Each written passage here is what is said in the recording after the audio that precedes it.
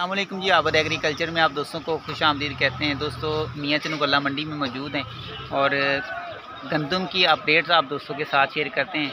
Government ने ऐलान कर दिया जी गवर्नमेंट ने जो साल 2024 का रेट है, वो मुकर कर दिया है। साल 2024 का रेट अगर फ़ी मान चालीस किलो के रेट के हवाले से दोस्तों बात की जाए तो रेट मुकर किया है जी, चार हज़ार रुपया। यानी कि पंजाब का, पंजाब के इलाके में चार हज़ार रुपया जो नई गंदम है साल 2024 की, वो आपको मिलेगी।